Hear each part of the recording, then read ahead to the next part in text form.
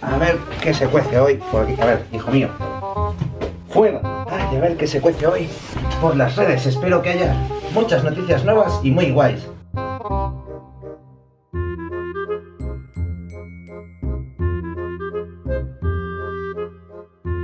Oh, parece que ya han sacado el nuevo diseño de mi película. A ver.